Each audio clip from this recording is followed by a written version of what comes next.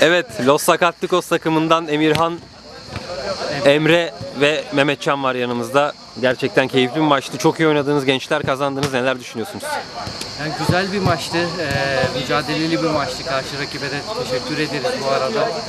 Son 3 maçtır ben bu takıma katıldım ve arkadaşlar sağ olsun emeğine, ayağına sağlık. Karşı rakibin de öyle güzel bir maç çıktı. Umarım daha iyi maçlara, daha iyi skorlara diyelim. Tebrik ediyoruz, başarılar diliyoruz. Sizin de ayağınıza sağlık.